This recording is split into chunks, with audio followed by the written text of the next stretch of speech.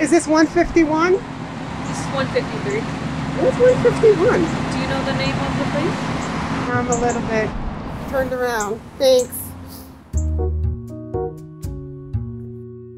It's a warm, sunny day in Augusta, Georgia, and I'm trying to find a small brick building that Galen Tootle, a disability rights advocate, works out of.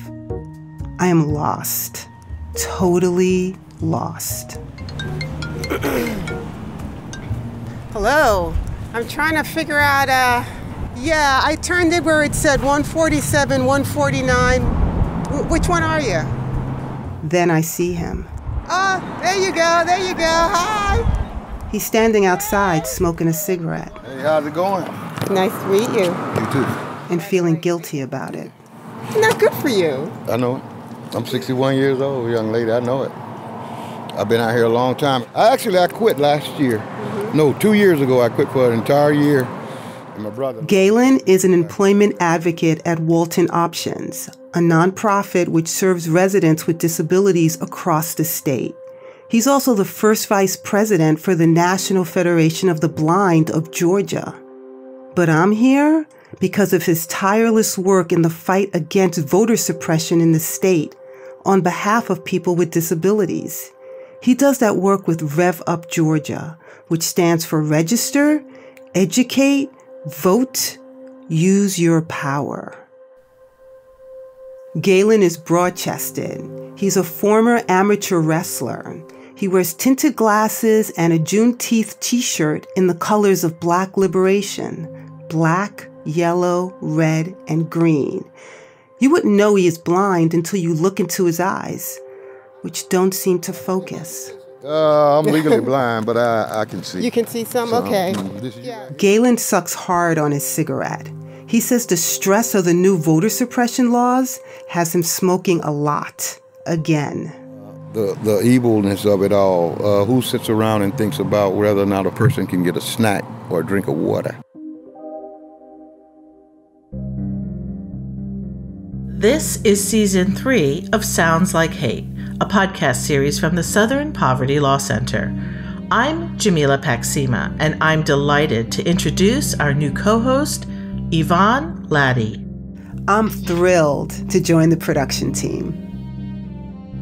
This season, we are examining the rights and lives of individuals who too often have difficulty being accepted for who they are.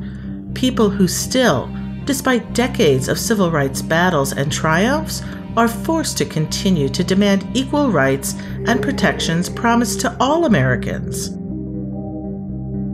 In this season, we travel to Arizona, Florida, Georgia, and Pennsylvania.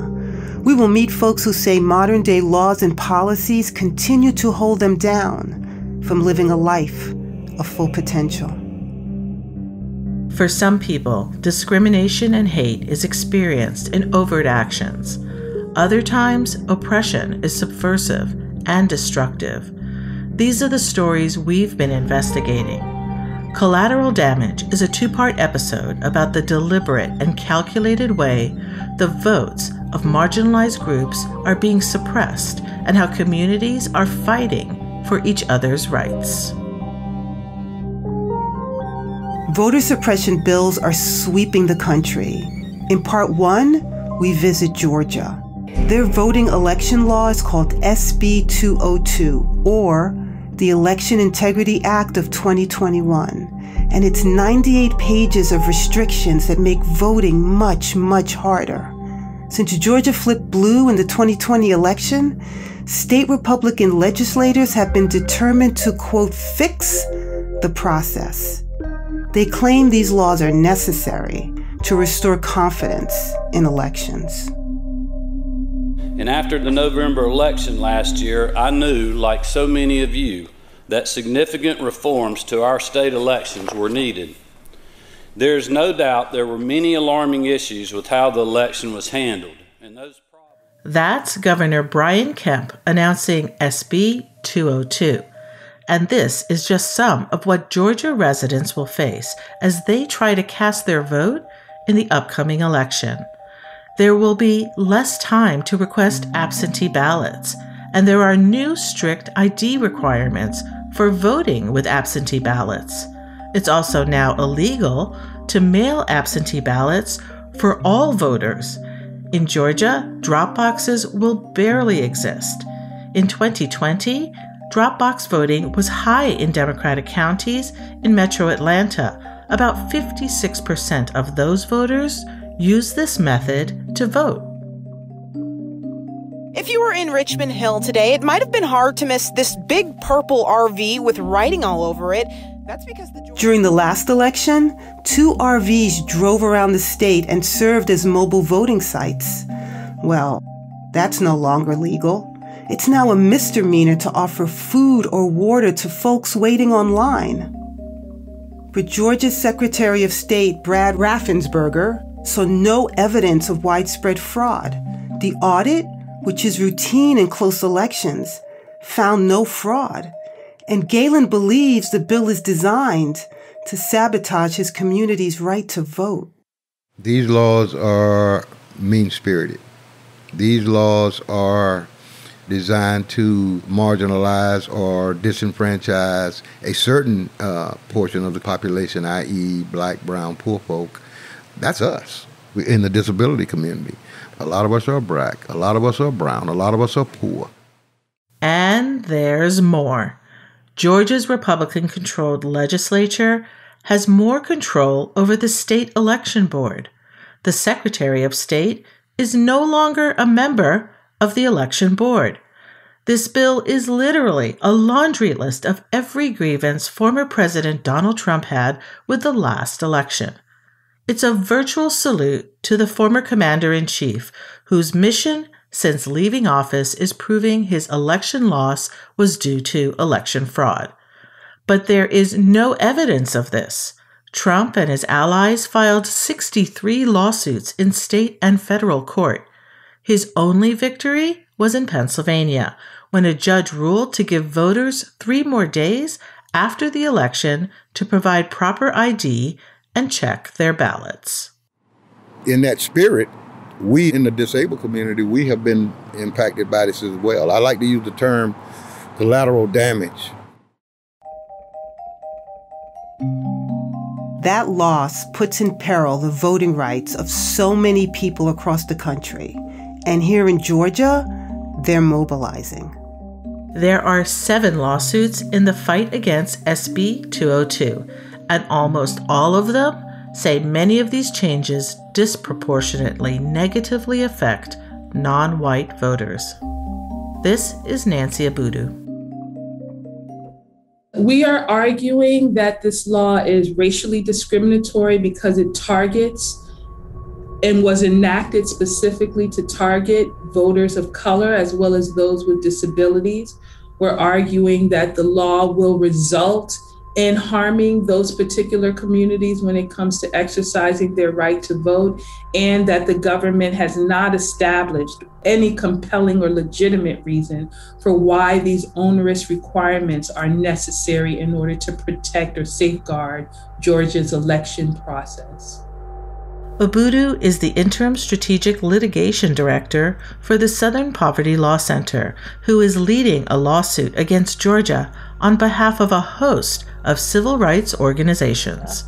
What is the next step for you and, and for Georgians? So, our hope is that we will at least get some kind of preliminary relief so that voters will be able to engage in upcoming elections without these kinds of restrictions and we are just continuing to engage in education so people understand what the current law is. And assuming that these laws are on the books as elections come up that they know what they need to do in order to not be harmed so much by by some of these restrictions. Where are you galen? galen is deep in this fight but for now Inside his office, he is finishing off some emails before quitting time. His computer has a 27 inch screen and a keyboard with large keys. He presses his face against the screen, strikes a key, and emails are read to him at a super fast speed. The audio manager, message list, message list, reading page complimentary region, content page, make them log on. That, that's reading awfully fast. But that's because I'm trained to listen. But that's how uh, our screen readers work. A screen reader allows people who are blind or visually impaired the ability to use a computer. It reads the words on the computer screen to the user. A lot of uh, accessible equipment, uh, which in turn would allow us to actively apply for jobs, requires money. And uh, in most cases, uh, we can't afford it. Most of us are on fixed incomes or whatever. And uh, this is one of the reasons why a lot of our people aren't employed. Statistics show that the total number of Georgia residents with disabilities is over 2.1 million, making up about 28% or 1 in 4 Georgians. And they have a lot at stake. Prior to the COVID 19 pandemic, only 36.3% of them had a job. The state has 650,000 eligible voters with disabilities. 74% of these voters used mail in ballots or early in person voting. Nationally in 2020, more people with disabilities voted than ever, topping 17.7 million, an increase of 6%. All the new options to vote inspired advocates and people living with disabilities. We had no money, no money at all. Zan Thornton is the co director of Georgia Adapt. But we just got people to come bring their vans, come pick up people. And so we ended up with 500 rides. It was just amazing. I, I couldn't, I still can't believe it.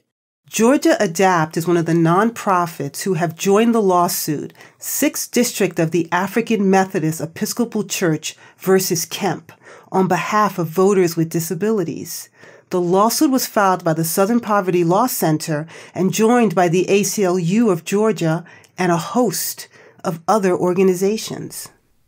Zan says the effort to ensure basic voting rights for people with disabilities will be an uphill battle.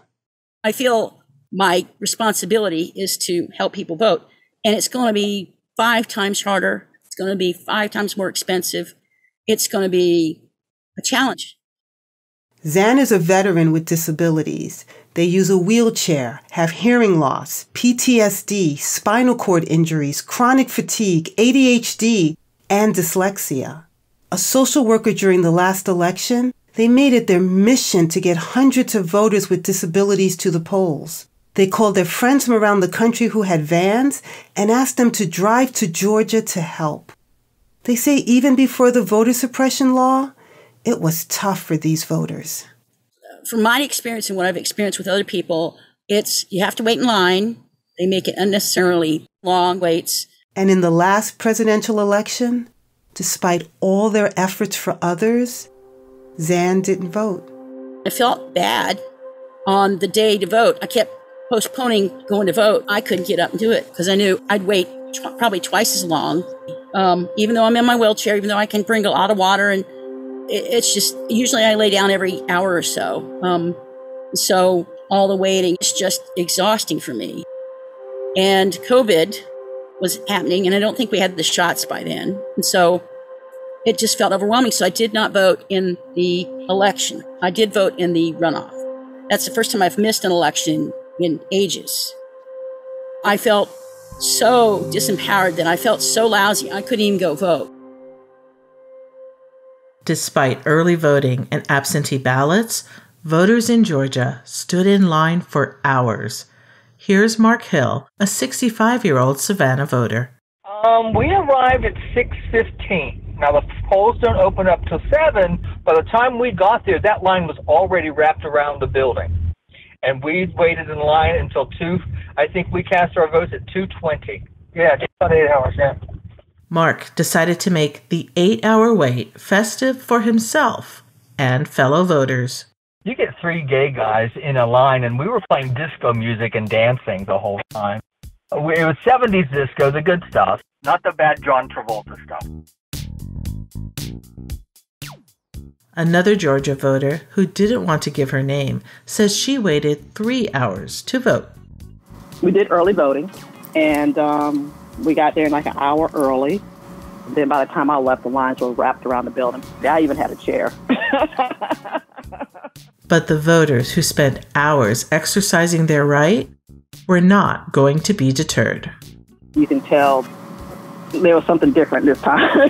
People were really like, we're, we're out here to vote. I don't care what's going to happen. I would do it again in a heartbeat. There's no question in my mind that I would stand in line and do that again.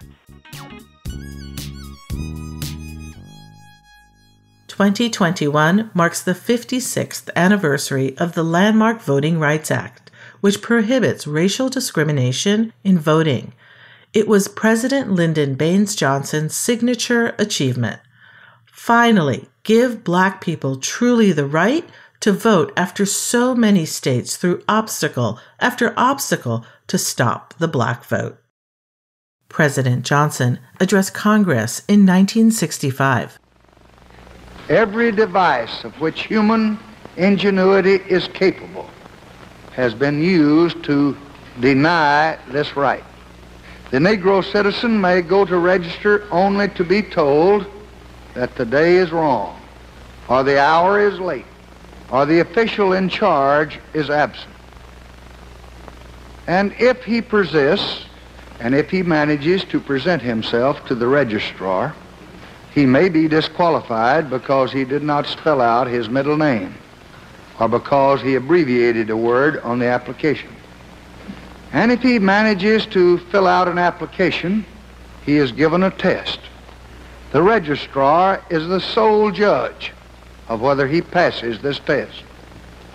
He may be asked to recite the entire Constitution or explain the most complex provisions of state law. Now, with small cuts and slashes, the rights of some Americans to vote are still being denied. Nancy Abudu, the SPLC attorney, calls these attacks on voting rights racism. It is what racism looks like today. It is how it operates in our current system where we don't have the same widespread kind of violence against communities in the South, but we have violence happening in a different way in terms of voter suppression. And just as they've updated their racist tactics, we have to update our strategies in terms of how we address it. Mark Updegrove the president and CEO of the LBJ Foundation in Texas agrees voting rights are not guaranteed for everyone. Well, it's clearly racially driven. But of, of, of, that myriad of transformational laws, the one he was most proud of was the Voting Rights Act. Because he felt that if people of color in this nation, if, if everybody had equal access to the ballot box, we would have truly representative government, which is really what we're all about. He says Johnson believed access to voting was the heart of civil rights, and with the power of the vote in every American's pocket, civil rights laws would not even be needed. You wouldn't need things to protect people who were vulnerable and discriminated against because they would have representatives who were seeing to their interests.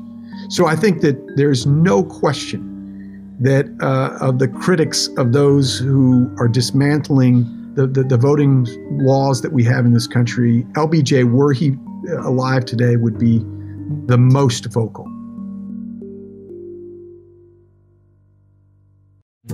Are you enjoying this programming? You can support this project right now, along with all the important efforts of the Southern Poverty Law Center, a nonprofit organization that works to dismantle white nationalism and bolster our inclusive democracy. Simply visit www.splcenter.org and click the donate button. There, you'll find all the quick and easy ways to support the production of this content and join in the SPLC's movement for a more just and equitable society. My name is Lee Jones. I am the CEO and founder of Inspire Positivity. I'm a disability rights advocate in LaGrange, Georgia. Lee is also a grassroots connector. We did um, door to door canvassing. We did. Which means she works with ARC Georgia and advocates for people with disabilities in rural communities. We did like a parade with a loudspeaker. She helps educate them on their voting rights and gets them to the polls. We hosted events every opportunity that we had to do a voter registration or education, we did it. We did social media campaigns. We pushed really hard. We sent information to the churches. Um, we got with our local community partners and social service agencies. We asked them to give us referrals of disabled people that they may have known about that had never voted or wanted to vote but didn't have a way to get to the polls or if they just didn't know anything about their disability voting rights. Um, we really pushed very hard to, to get that information out. She did all of this while battling her own health and disability issues. I have acute Crohn's disease and autoimmune hepatitis. I'm also battling liver cancer. Um, I um, survived kidney cancer. I have one kidney. And as a result of all those different things going on, um, I'm, I have bipolar syndrome, axis 4. But I never really looked at those challenges. Those are just indicative of me, and I've lived with it, you know, for a good majority of my adulthood. Once she became a grassroots connector, she says she got a better understanding of her own voting challenges. You know, my reason for doing an absentee ballot, I cannot stand in a line for hours without sitting down. I have chronic pain for my conditions. That would prevent me from standing in line for hours on end. Um, I do have to have some kind of hydration because of the medication that I take. I get dry mouth a lot. And just mentally, and emotionally, standing in in a line for hours, being in pain, being thirsty. Knowing what it's like to live with a disability sparks Lee's desire to do more. I really had to sit down one day um, and think about what does being a grassroots connector mean to me personally. And I realized I found my tribe. I'm a disabled person, but disabilities can be invisible to others. You could look at an individual such as myself that has a lot going on and they look perfectly healthy to you. But they're not. They're struggling. They're battling. Lee has lived in LaGrange, Georgia for the past five years. She was born in Florida and grew up in Hawaii, but her husband's job led him to this small city, just about an hour from Atlanta. LaGrange is a, a, a wonderful place to raise a family it's very well connected and tight knit when it comes to community partners and um, just the people in general. You can get anywhere in five minutes. Everywhere you go, you see someone that you know or met or worked with or advocated with. Um, people, for the most part, are very friendly. But there's a dark history here. LaGrange is segregated, divided by color blacks on one side, whites on the other. And although they mix in the quaint downtown, the divide is clear. We have one African American on the county commission, and our mayor is white, our police chief is white, our sheriff is white, our fire chiefs are white. And here is how the legacy of slavery in America dictates how a town is run. Slavery mentality is deeply entrenched here, especially in South Georgia. And the reason for that is because about an hour down the interstate in Montgomery, Alabama, that was the financial center for slavery. Every slave that came into the state of Georgia at some point made it to that financial center to be sold off to go in different directions across the nation a lot of the lynchings that went on in the nation happened here in Georgia. It's just how it is. Do you feel like things are are going backwards? I mean, it seems like a lot of these laws remind me of things we were seeing, you know, 60 years ago. I think they're going backwards. Those mentalities have been suppressed for years because of the federal and state laws that have been implemented to prevent it. But She says Trump's election in 2016 emboldened people to speak openly about the hate they once shared in private conversations.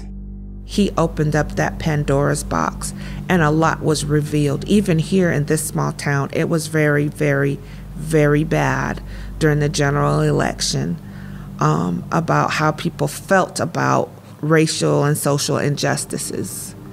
And it was sad to see because many of the colleagues that I have been working with for the last five years that I thought were progressive people turned out to not be. What, that. what were they saying? what did what did they reveal? They revealed who they really were. That they really don't care about equality.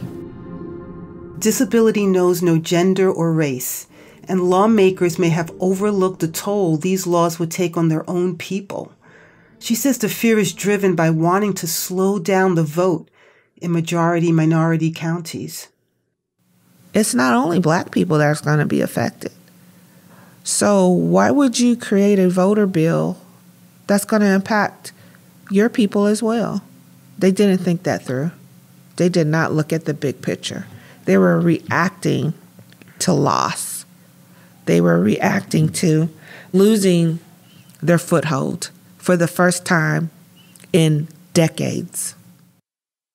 Governor Kemp signed the bill into law, surrounded by white men, with a painting of a plantation behind him.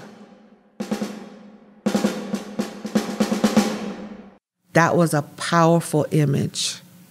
And that really angered a lot of people. What did that image say to you? that they're going to try to go back to the status quo. They want to get their glory back. And they're going to try to stop us with any means necessary. And that they're thinking that the old guard, the old way that they used to do things, was going to frighten people um, into kowtowing to that foolishness. But it had the opposite effect, exact opposite effect. Why do you think Georgia turned blue? It sent two Democratic senators to um, the Capitol. No one wants to revisit anything that gives any semblance to the Holocaust. No one wants to be oppressed in any way, shape, form, or fashion. No one wants that anymore. And it's not necessarily being oppressed by Caucasians, just oppression, period. No one wants to be disenfranchised. And is that what it felt like these last four years? Oppression? Oh, it gave me great anxiety. I was extremely, extremely worried about Trump getting a second term and what that could have meant because of his rhetoric, because of his hate filled speeches, because of the ugliness that he brought out in Caucasian people. And even in some of, some of our black people were following him as well.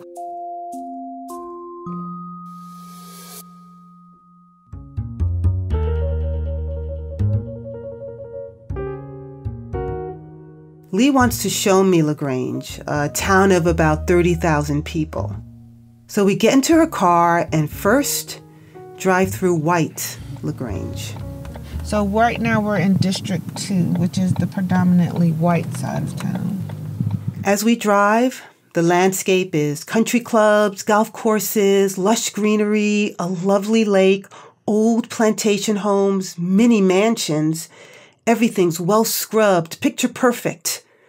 No black residents or black faces in this part of LaGrange. LaGrange has a lot of wealth, and a lot of that wealth is generational wealth that has been passed down.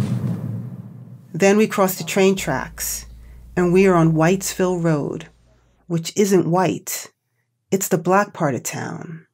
Here, the average income is $20,000 a year. 28% of the residents of LaGrange live in poverty, which is higher than the national average of 13.1. Oh my God, look, they're like broken down. Oh my God. Do you see the difference? Oh my God. It's like a it's like an overwhelming difference. Faded paint, Dilapidated, rundown homes welcome you to this part of town. There's a lot of public housing in the familiar dull brick facade, but the housing authority is working on renovations. You don't really see new construction in LaGrange.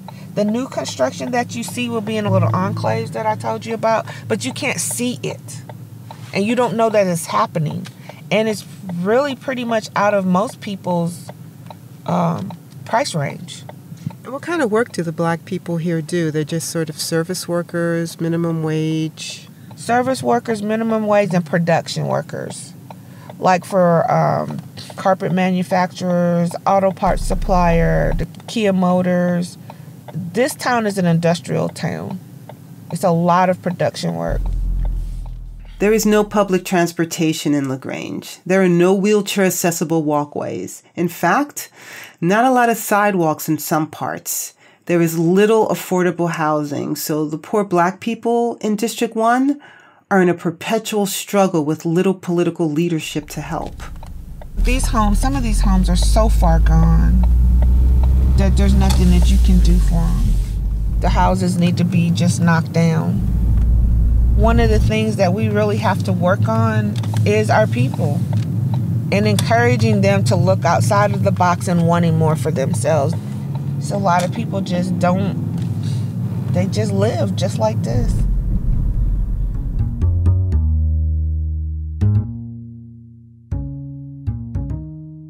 Advocates like Lee say in a town like LaGrange, where the many black residents work low income jobs, the Election Integrity Act strikes at their very right to vote. And if you're living with a disability, getting around is not something you can take for granted. All the social ills that affect how people live have a hand in access to voting. Practical hurdles, ID, difficulty registering, or finding the right polling location are very real concerns. In Georgia, where voters of color experience longer wait times at the polls, the voter suppression bill includes a provision that makes it more difficult for a judge to expand polling place hours. Local political representation in LaGrange is Republican, despite having slightly more minority residents. Trump won 60% of the county vote.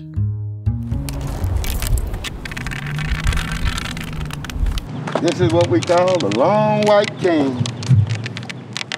This is a trademark of the National Federation of the Blind. We believe in the long white cane. It allows us to travel faster, uh, more safely. Okay. Galen needs a ride to the barber shop, where he's going to get spruced up for his upcoming community meeting with Vice President Kamala Harris, who has been tapped by the White House to lead the fight against voter suppression. Galen has lived in Georgia all his life. See, I go back a long way. I can remember uh, separate waiting rooms, uh, having to go get a fish sandwich from my uh, aunt who worked at the uh, local juke joint, and she was the cook there. But in order for me to come and get something, I would have to go to the back. So you grew up in the South? Yes. You from? You from? Where are you from? I'm from a town called Glennville, Georgia, which is in southeast Georgia. It's a small rural town, and uh, due to my advocacy work, uh, it, it, became uh, incumbent upon me to leave. One guy told me, for instance, don't you know your wife rides up and down the streets in this town at night? So long as you stay in your place, boy, you were all right. He says Jim Crow never really ended in the South. Uh, as a matter of fact, uh, I call it James Crow Esquire because it's Jim Crow all grown up. But what they do is the same stuff. When we look at the nature of these bills, particularly SB 202, we have to understand that this is not new. It is the type of mentality that we're up against. Galen was one of six children, and he and his brother are blind.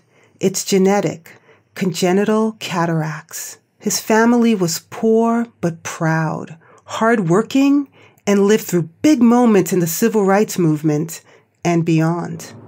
We saw integration come. Uh, we saw separate but equal stuff go away. And uh, then I saw Barack Obama. and uh, I really thought this work was really over with.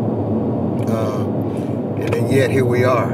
I think uh, in in hindsight, in retrospect, Barack triggered a lot of this, not through no fault of his, but simply because through the the fear and the, uh, all of the other things that, that are tied in with, uh, with, with the white man.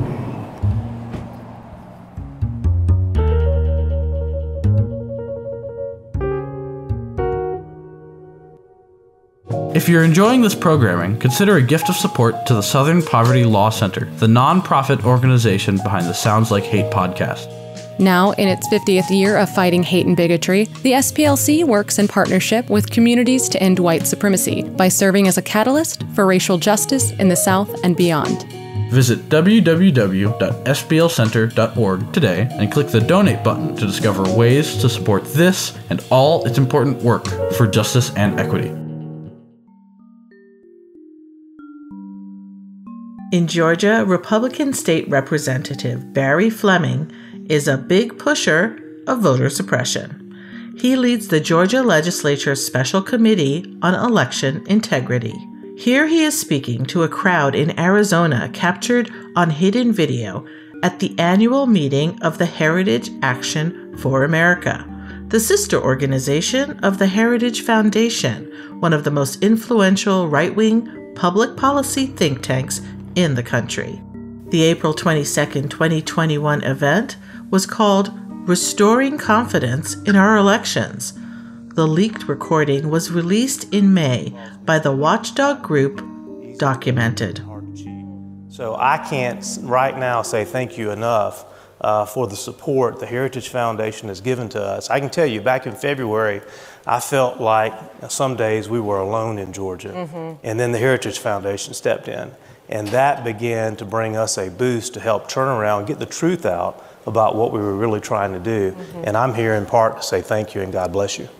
And in the very same gathering, frankly, the problems that we are trying to fix in courageous states like Georgia. So Jessica Anderson is the executive director of Heritage Action for America, a sister organization of the Heritage Fund. She boasted on stage that both organizations were advising and drafting the new changing voter legislation not only in Georgia, but across the U.S. This is a $24 million investment over the next two years.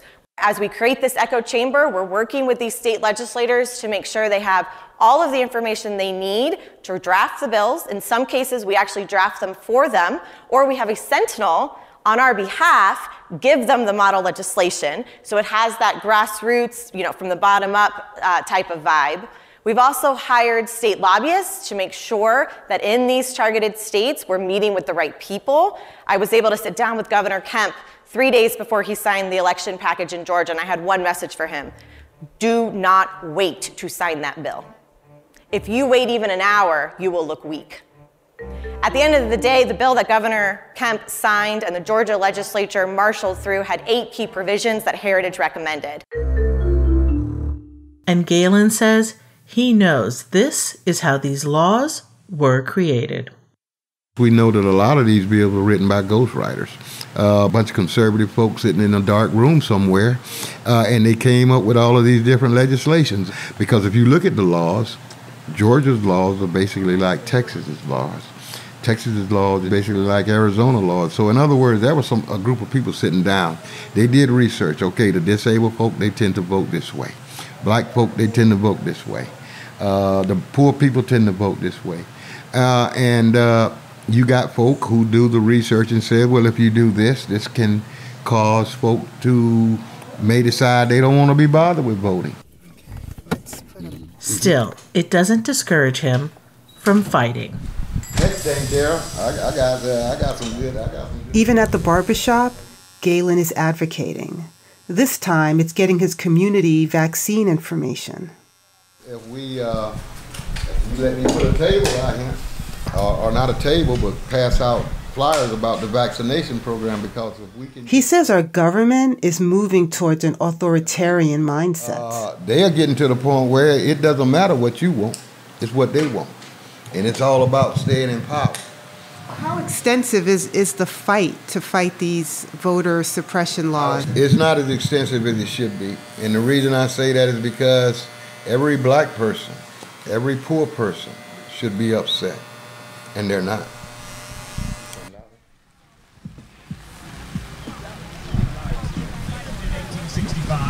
But in 1865, at the ending of, uh, of slavery in the United States as a legal institution, It's Juneteenth in LaGrange, and in Calumet Park, the food trucks are ready to serve chicken wings and burgers.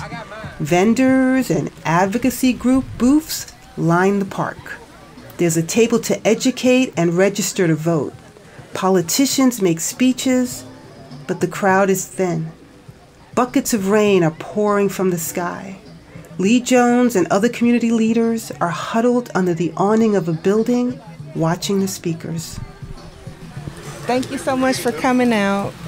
This Juneteenth celebration, rain or shine, we're out here. It's very important to the to the city. My name is Kevin Littlefield. I'm the chairman of the Troup County Democratic Party here in Troup County, Georgia.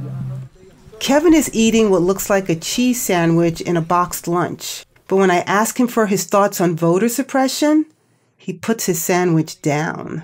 You know, I don't think you want to hear a lot of cursing and cussing in your interview, do you? But it's flat out Jim Crow Part 2. It's straight up racist. Brian Kemp, he gets up there. God, you got me on one of my issues here. But he gets up there and he cherry picks the parts of the bill that he thinks will, you know, mollify people or he thinks that will appeal to certain people. SB 202 also secures all ballot drop boxes around the clock, speeds up processing to ensure quicker election results, requires security paper to allow for authentication of ballots, and allows the bipartisan state election board to have more oversight over counties who fail to follow state election law. Oh god it, it just makes my blood boil. And, and the way they package it they, they want to talk about you know and first off you know voter ids is not a slam dunk issue. 25% of the black community in america does not have a photo id and it costs up to two or three hundred dollars to get one. That, that's what he wants to put out there. But that's not the meat of this bill. The meat of this bill is, is to enable the republican-led legislature to be able to affect the vote totals in the big counties that are predominantly black, like Fulton or DeKalb. I'm, I'm sorry, that's, that's one of my issues. It gets me going. So I mean, what can be done to, to stop it? outvote them. That's that's what we've been saying for years and years and years now. We, we you know, and it's it's a it's a tall order because the districts in the state are so gerrymandered. You know, I mean, Georgia is going to be one of those minority majority states. And, and I'm not just talking about the black community. There's all sorts of different ethnic groups in Georgia, but they're going to outnumber the white population here in Georgia very soon. Kevin says we need a new federal voter rights bill because it's not just Georgia. Every Republican controlled state is eyeing voter suppression bills or has enacted them. According to the Brennan Center, so far, 19 states have enacted 33 laws that restrict access to voting. Nearly 1,000 voter restriction bills have been introduced in 49 states and are moving through the legislature. And it's, it's straight up white supremacy and racism. You know, if you can't see me, I, you know, I'm, I'm as white as they come, but you know, the, the the wealth gap, the inequality in voting and stuff, it does not benefit the white people in the state either. Well, maybe you know some of the extremely rich ones, but black poverty's not helping me. Regardless of what Brian Kemp says, this voting bill in Georgia is racism. But Kemp claims it's not. According to them, if you support voter ID for absentee ballots, you're a racist. According to them, if you believe in protecting the security and sanctity of the ballot box, you're a quote, Jim Crow in a suit and tie, end quote.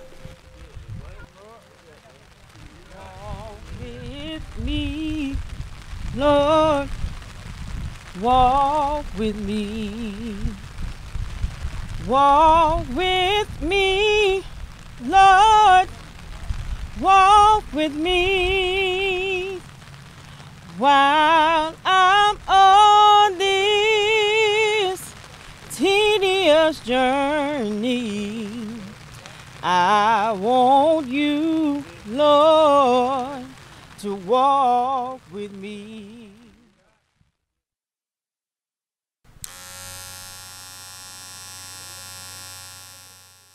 If you try to put uh, barriers out there that tells me that uh, I'm less than what you are or who you are, then I get angry about that. Like I have children. I have a son. I have grandchildren, and I want them to live in a better world than I have. My daddy was doing this same fight back in the 60s, and that's amazing to me. We've had a black president, and yet and still we are back here doing this same stuff. We want to choose who lead us. And if we can't vote, then we won't have the ability to do that. Galen says the path to victory depends on like minded people and groups working together. With the wave of the white nationalism and all that stuff that's sweeping this country, chances are it is going to come to a city near you. So we need for us to get together, become one community, and fight against voter suppression. This is not a political issue. Everybody should be able to have a right to vote. This shouldn't be about disabled folk, black folk, poor folk, uh, white folk. It should be about all folk having the ability to vote. A few more snips, a thin mustache trim, and the haircut is over. And guess what? With my barber, I don't even have to look in the mirror. You know why? Because he's going to make sure I'm straight. A few days later, I give Galen a call to see how his meeting with the vice president went. I bet I bet you looked good with your new haircut. You didn't see the pictures. I ain't seen. You didn't get no pictures, did you? You should send me one. Did you have one of you and her together or something like that? I'm about to send it to you right now. yes, young- please do. That that would be fun. But I wanted to follow up on how did the meeting go with Kamala Harris? It was a great meeting. Uh, it was an intimate uh, meeting. It was not a photo op. There were no journalists and camera folk in the room. Uh, it was real. It was sincere. And I spoke to uh, Title II of the uh, American with Disabilities Act. Title II of the ADA prohibits discrimination against individuals with disabilities in all programs, activities, and services of public entities. What we need is the DOJ to come down and enforce it. We already got the laws on the books, but we need it enforced. Because here in Georgia, the blind vote is totally disenfranchised. And ADA Title II would go a long way towards fixing that because if the feds did their job of enforcing the ADA, then they wouldn't be able to lock us out of the system as they have. He says they need better messaging. So when you speak about voter suppression, make sure you mention my people, and not as an afterthought, not as the last one on the list, but as people who are uh, certainly being impacted by these uh, Jim Crow voter suppression laws. But at the meeting, Senator Jon Ossoff told him stopping the wave of voter suppression won't be an easy fix. You know, we got to be realistic in our approach. Despite everything that we do, it's a 50 50 split. Uh, so The split made it impossible for the Senate to agree on any sweeping voter protection law, including the John Lewis Act, named after the late Congressman and civil rights icon, John Lewis. The proposed legislation would have strengthened the voting rights of people of color and people living with disabilities. And so, where do things stand now? Well, Senate Democrats are still pushing to strengthen the Voting Rights Act, and Attorney General Merrick Garland is leading the Justice Department in a lawsuit against Georgia. There are many things that are open to debate in America, but the right of all eligible citizens to vote is not one of them. The right to vote is the cornerstone of our democracy, the right from which all other rights ultimately flow. The grounds? Georgia is discriminating against black voters. Here is Attorney General Garland again. In keeping that promise, today the Department of Justice is suing the state of Georgia. Our complaint alleges that recent changes to Georgia's election laws were enacted with the purpose of denying or abridging the right of black Georgians to vote on account of their race or color in violation of Section 2 of the Voting Rights Act. Kemp and the Republicans are ready to fight it. Let me be clear. The DOJ lawsuit announced today is legally and constitutionally dead wrong. Their false and baseless accusations are quite honestly disgusting. But I will tell you right now, we are not backing down. I am not backing down. And I can tell you that Joe Biden, Stacey Abrams, and Merrick Garland don't scare me. And Galen's ready for the fight. Do you think you're going to win? Absolutely. I always win. Now, sometimes it takes a long time. Disability rights or civil rights, which means that we're lining up with uh, most of America. We can't help but win.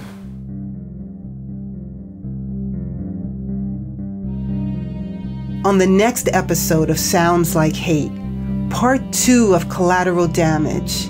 In Florida, the formerly incarcerated had their right to vote yanked away by Republican legislatures. You know, you got a million people that can't vote? That's a problem. We should not be denied our right to vote. You cannot disenfranchise us from voting for the President of the United States and our federal Congress. It's like, oh, this is a black thing, this is that. No, it, it affects more people who are white.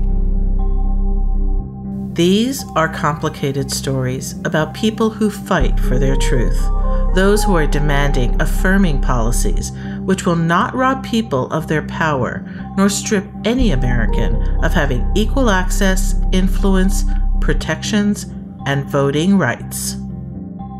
If you know someone who has experienced a hate incident or crime, please contact the appropriate local authorities or elected officials. You can also document what happened at splcenter.org. This is Sounds Like Hate, an independent audio documentary brought to you by the Southern Poverty Law Center, produced by Until 20 Productions. I'm Jamila Paksima. And I'm Yvonne Latty. Remember to subscribe to find out when new episodes are released. Please rate and review, it really helps. And thanks for listening.